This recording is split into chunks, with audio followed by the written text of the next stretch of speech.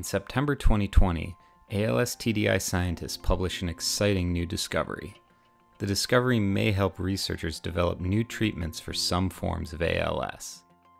What they discovered is a new potential drug target for ALS cases involving the C9orf72 mutation.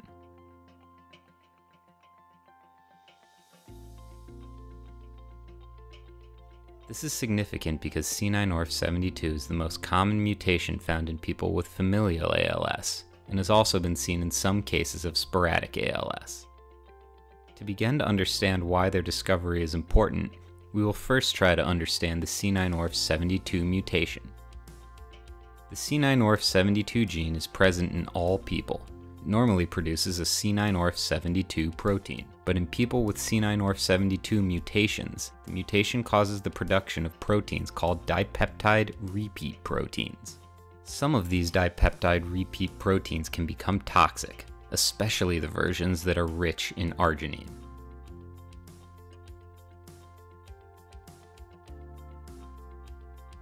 Arginine is an amino acid. Our cells use amino acids to make proteins and the sequence of amino acids determines each protein's specific function.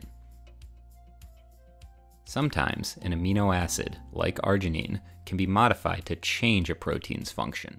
One type of modification that can happen to arginine is called methylation.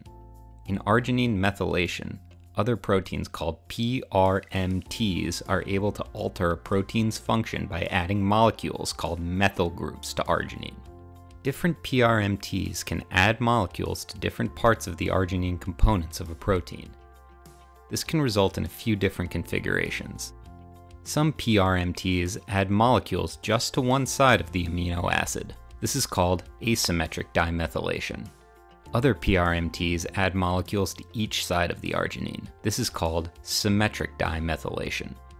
The small differences in these two configurations can change the way the proteins function and create big changes in many of the processes that occur in our cells. Yet, there has been little previous research into this process as a potential factor in ALS.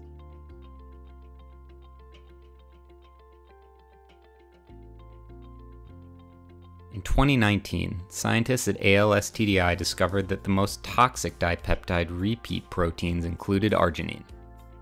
Because of this, they hypothesized that modifying arginine may play an important role in C9orf72 ALS. To investigate their hypothesis, ALS TDI scientists added some of these toxic proteins to neurons in the lab. Normally, adding the toxic proteins to neurons causes them to get sick and die, as seen in cases of ALS. But the scientists found that cells didn't get sick when they were protected from certain PRMTs. Specifically, they found they could protect cells by inhibiting the PRMTs that cause asymmetric dimethylation. This means that by protecting these cells, scientists can potentially prevent the process that causes ALS.